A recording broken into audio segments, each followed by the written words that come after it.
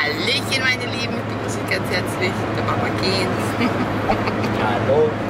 Wir sind mal wieder im Auto. Äh, Wir beginnen hier den Vlog.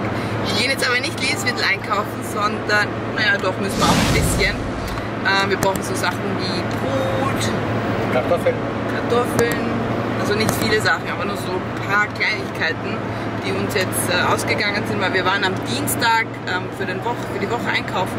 Wir gehen normalerweise immer Samstag und jetzt sind uns einige Sachen, die frischen Sachen leer gegangen. jo.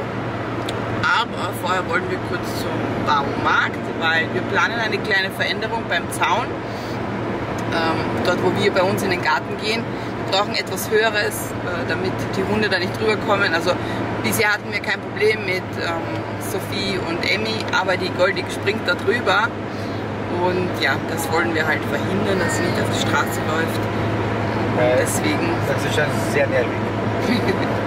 ja, das ist halt, ähm, die Goldie, wenn wir zum Beispiel, sie ist im Garten und jetzt sind alle Welpen draußen, sie mag es nicht mehr, dass die bei ihr halt, ähm, sie, kann, sie kann sie nicht mehr stillen. Sie haben schon Zähne und so viele Welpen, ja. Und wir können sie nicht mehr stillen.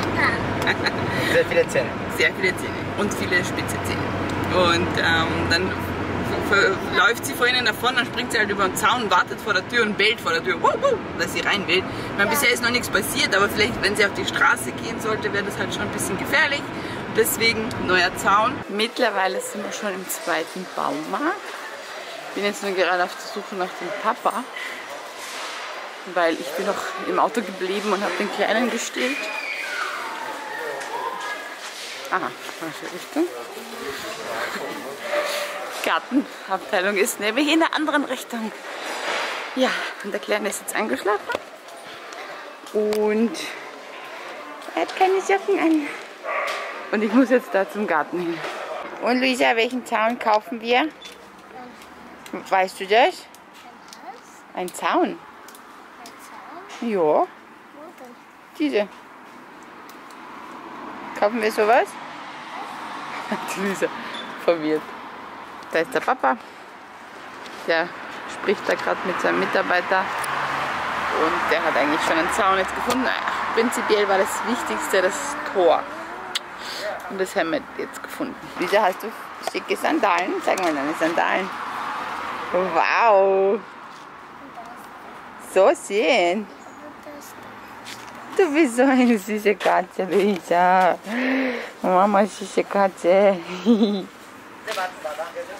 Und? Kennt sich nicht aus der. Ja, er muss im Computer nachschauen, weil ist zwar dasselbe Tor, aber ist eine andere Farbe und dort steht 350. Und dem Silber ist 2 2,99. Dann nehmen wir lieber im Silber, 2,99. Ja, Ich brauche die Farbe nicht unbedingt. sehr wurscht, ja. Oder steht auch hier noch. Das passt dann zu unserem anderen Zaun, was wir haben. Und das ist viel günstiger. 40 Euro. Und dort war ich hab fotografiert über 50. 60, glaube ich. Das heißt, 300 ist das Tor quasi. Ich brauche zwei Zaunelementen, aber ich kann die kleineren nehmen. Die ist aber 1,23 Meter. Das ist schon klein, oder? Ist daher. Schaffen sie eh nicht zum drüberspringen. Das ist 1,23. Ja, dann nimm das. Ja, mit unserem Zaun ähm, haben wir uns jetzt ähm, kurzfristig umentschieden, weil wir da eine Firma gefunden haben, die uns das um ein bisschen mehr Aufpreis machen würde. Ich glaube so 300 Euro mehr und da sparen wir uns die Arbeit und die Schlepperei und den Kalkulationen und. Der Papa würde alleine dafür locker drei Tage brauchen und jetzt kommt vielleicht Mittwoch sogar eine Firma, die uns den Zaun macht und haben uns den Stress erspart. Also haben wir jetzt nichts gekauft. Jetzt gehen wir schnell noch ähm, ein paar kleine Lebensmittel ein, also kleine Lebensmittel, kleine Lebensmittel. Also ein paar kleine, äh, sag ich wieder kleine. Zwei kleine Brötchen. ein bisschen Salami. Ich bin kurz in Action reingesprungen und ich zeige euch, was ich gekauft habe für die Mamaus. Der Papa hat den Kleinen kurz rausgeholt, schaut mal, während ich das beim Action war. Also, ich habe auf jeden Fall so eine komische Schlange geholt. Ja, ein cooles mit so Knoten für die Zähne. Sehr gut, weil die kn- knabbern aktuell einfach alles an. Dann habe ich so einen Ring geholt. Der hat auch noch so mal oder so eine Schnur dabei. Ich habe viel in rosa genommen, weil wir viele Mädels zu Hause haben. Bitte schön. Dann habe ich diesen Ball hier geholt. Der ist auch ein bisschen schwer. Da. Vom Karate. Oder eine Prinzessin. Ja. Dann habe ich sein Teddy geholt. Schaut mal, wie ist. Willst nicht? Schau mal, ist das? Ist so ein Stressball. Ja, genau. Dann habe ich noch sowas geholt. Da können die so Tauziehen spielen. Und Das auf Mannschaft. Das Drei auf einer Seite, vier auf einer anderen Seite. genau. Und dann habe ich noch Bälle geholt. Ja. Und für den Kleinen habe ich auch was geholt für meinen Welpen. Da habe ich dieses Ding da gefunden. Da habe ich mir gedacht, das wird ihm sicher Spaß machen. Sauber, sauber. Hat ein bisschen Gewalt machen. Und deswegen mag er Wie das. ist das? Achso. Na gut, ich bringe das, bring das jetzt in den Kofferraum, oder? Fahren wir einkaufen? Ja. Er will schon, schau. einkaufen. Seinen Der Greif. hat gebrüllt hier wie am Spieß, meine Ohren. Wieso hast du nicht vorher rausgenommen? Wie aus? Schau mal. Oh, mir ist langweilig da hinten. Schau, kannst du nicht ab? Ich habe ihn rausgenommen. Oh, achso, er hat bei dir gespielt. Nein, So. du hast aber.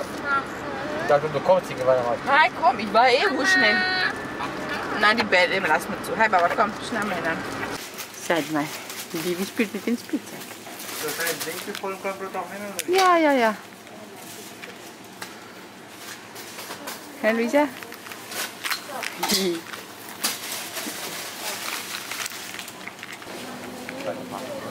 Voll konzentriert. Er ist so konzentriert. Bravo, mein Ja, Was denn? Okay. Ja, gelb, Hände? Wo denn? gelb. Na, gelb. Schmeiß rein. Komm, Lisa, geh, geh dem Papa nach. Nicht für dich. Die Goldi will auch ein bisschen Joghurt, oder was? Ja. Sag, zeig ich mal, wie die Welpen jetzt da, dahergelaufen kommen. Sind die Ratten auch? Schau. Machst du die Tür zu, Luisa? Wo sind meine Babys? Hast du mich mit Eis vielleicht Luisa? Nein, Schötter. Ah, komm. Wie sie alle dem Papa hinterher. Muss man aufpassen, dass die großen Hunde das nicht schlabbern.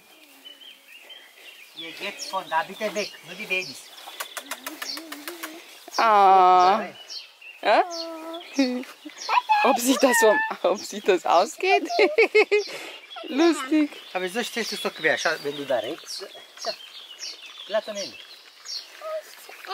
Oh, alle Joghurt schlabbern.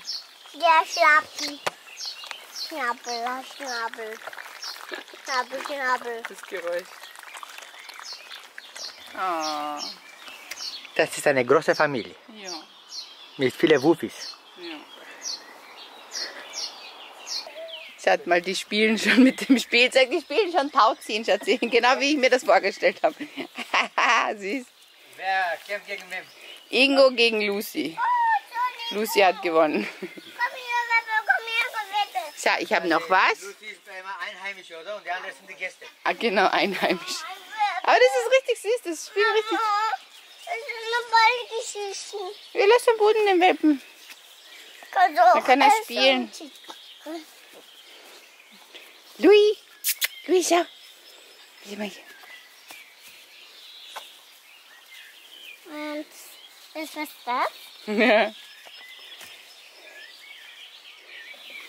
Da lass dem Louis zum Spielen. Da, Louis. Könnt ihr auch spielen? Die Bella spielt auch schon mit den. Süß. Ah. Die Goldi macht die Tellerchen sauber. Wir haben jetzt nämlich noch gefüttert. Du bist so schwer. Schau, die Peppa hat schon. Die Peppa, komm, spiel du mit mir? Ich will nicht, bitte. Schaut euch die Lucy an. Sie hat das Spielzeug jetzt hier ins Körbchen reingetragen. Spielen. Schatzi, schau mal, wie ich so schön spiele. Oh. Ja, mit diesem komischen Ring da. Könnt ihr alle. Das war eine richtig tolle Idee. Jetzt tust du alles rein, Luisa. Ja. Mal Klauen. Äh, nein. Jetzt, jetzt kämpfen sie.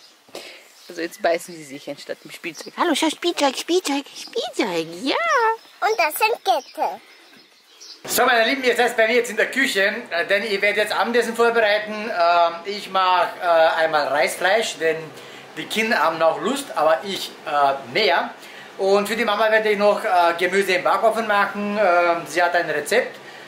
Ich weiß es nicht auswendig, aber ich bereite nur das Gemüse vor und den Rest äh, mag die Mama dann alleine. Ja, ich habe schon angefangen. Ähm, Ich habe da auf dem Herd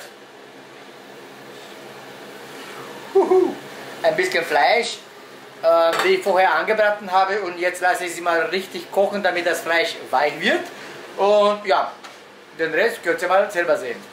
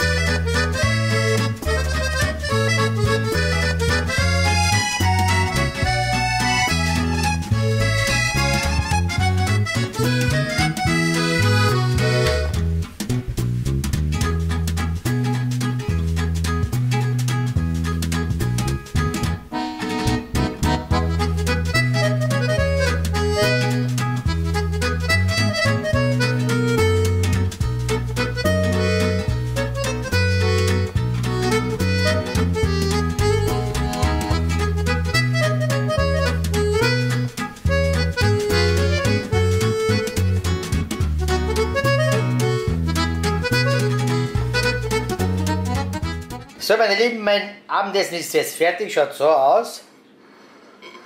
Mm, Und äh, wir werden jetzt gleich essen, denn wir sind mega hungrig. Ich kann es wahrscheinlich ähm, den ganzen Topf verschlingen. Mamas Essen ist noch nicht fertig, es dauert noch circa 30 Minuten.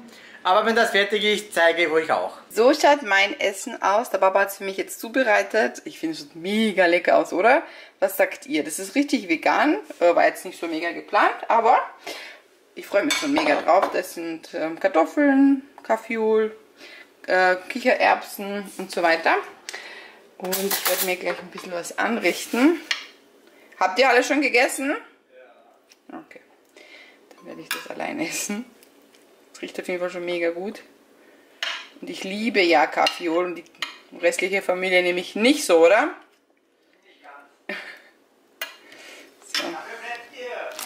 Ja, auch nicht schlecht.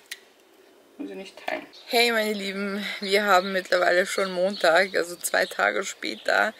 Ähm, ich habe am Samstag nicht mehr weitergebloggt, weil ich habe mich ein bisschen verletzt. Und zwar habe ich mit meinem rechten Fuß gegen den Tisch äh, vom, vom Couch, also gegen diesen Couchtisch, Tischbein, bin ich voll krass angekommen äh, beim Vorbeigehen. Also ich habe ihn quasi getreten und es hat so krass weh getan. Ich habe wirklich ähm, ja, mir die Seele rausgeheult. Ich dachte, der ist gebrochen. Ist aber nicht gebrochen. Wir waren nämlich gestern am Sonntag kurz in der Notaufnahme, um ein Röntgen zu machen. Und ist nicht gebrochen. Gott sei Dank, ich sag's euch. Ich habe ja einfach mir schon alles ausgemalt, dass ich jetzt einen Gips bekomme oder sonst irgendwas. Und auf das hatte ich ja sowas von überhaupt keine Lust. Und deswegen war ich so fertig mit meinen Nerven. Ich war dann so richtig depressiv sozusagen. Weil, ja, also man kennt, na, wenn man so eh schon so viel beschäftigt ist, man hat Kinder, man hat das und das zu tun, dann möchte man nicht noch einen Gips tragen. Ist, aber Gott sei Dank ist es nicht so weit gekommen. Ich kann es euch mal zeigen, wie das ausschaut. Es ist ähm, nichts, also beim Röntgen war nichts zu sehen.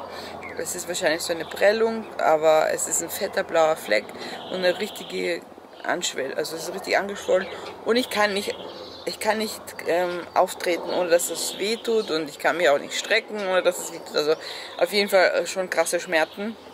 Ähm, ich habe das auf Instagram schon geteilt und voll viele haben halt auch geschrieben, dass eine Prellung sogar mehr weh tut als ein Bruch. Das wusste ich auch gar nicht, weil ich war gestern so durch. Ich habe dann auch gesagt, dass ich kurz mal Pause brauche, mache kurz mal, weil ich, ich, wenn ich dann so auch so ein bisschen mies gelaunt dann, dann bin, dann kann ich dann auch nicht irgendwie ja, fröhlich in die Kamera lächeln. Ähm, und ich bin so ein Mensch, ich möchte jetzt auch nicht immer so jammern und äh, deswegen ähm, mache ich dann gar keine Story lieber. Was ist denn da los, ey? Helikopter. Ja, jetzt ähm, bin ich im Garten mit dem Kleinen. Der Papa ist im Haus und ähm, arbeitet was am Computer. Und ich bin hier mit den ganzen Hunden und habe meinen Fuß hochgelagert. Da kann man es, glaube ich, gut erkennen. Meine Mäuse. Also, Moment, ich wollte nur kurz den Zuschauern mein... ja, ihr seht schon. Weiter bitte, mein Baby. Ja, bitte mein Baby, ja, gell? Bitte mein Baby. Also, jetzt kann man es, glaube ich, gut erkennen. Hier, da, diese angeschwollene Stelle. Ist zwar nicht ähm, gebrochen, aber ja, schaut halt wild aus. Und tut auch weh, ehrlich gesagt. Und jetzt muss ich aufpassen, weil mein Socke wird hier gestohlen. ich gebe meine Socke. Ja, meine Lieben, ich hoffe, der Vlog hat euch trotzdem gut gefallen. Ich würde mich natürlich über einen Daumen nach oben freuen und äh, wir sehen uns dann einfach im nächsten Video.